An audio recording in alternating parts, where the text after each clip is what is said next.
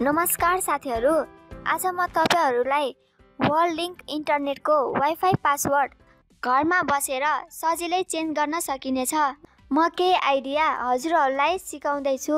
कृपया यो भिडियो पुरा हेरेर सब्सक्राइब गरी बेल आइकनमा प्रेस गर्नुहोला। अनि मैले यो भिडियोबाट दुई सय लाइकको अपिल गरेको छु हजुरहरूसँग।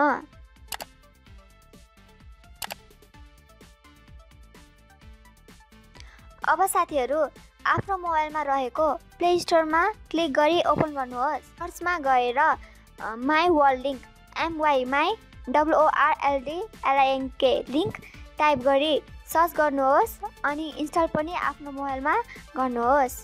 ल डाउनलोड हुन केही सेकेन्ड लाग्नेछ साथीहरू। साथीहरू हजुरको मोबाइलमा डाउनलोड त भइसक्यो होला अब त डाउनलोड भएको एपलाई ओपन गर्नुहोस्। ओपन गरेको एप्लिकेसन खुल्नेछ अनि ओपन भएको नयाँ स्क्रिनमा वर्लिङको बारेमा हजुरहरूले जानकारी डिस्प्ले हुनेछ। साथीहरू स्क्रिनमा प्रेस गरिहाल्नुहोस् है त। अनि त्यसपछि लगइनमा क्लिक गरी नयाँ स्क्रिनमा लगइनको अप्सन आउनेछ। अनि आफ्नो मोबाइल नम्बर राखेर प्रोसिडमा क्लिक गर्नुहोस्। अनि मोबाइलमा एउटा भेरिफिकेसन कोड आउनेछ। अनि त्यो भेरिफिकेसन कोडलाई कपी गरेर वर्ल्ड लिङ्कको एप्स ओपन गरी पेस्ट गर्नुहोस् अनि कन्टिन्यू पनि गर्नुहोस् है त।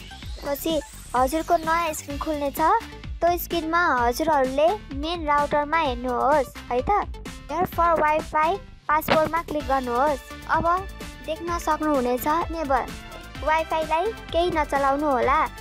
हाइड वाइफाई गर्न चाहनुहुन्छ भने गर्दा हुन्छ। यदि तपाईँहरूको वाइफाई वाइफाई नेम आफूभन्दा अरूलाई थाहा नपाउनु भन्ने भए हजुरले हाइड गर्नुहोस्। आफ्नो वाइफाई नेममा आफ्नो वाइफाई युजर नेम राख्नुहोस्।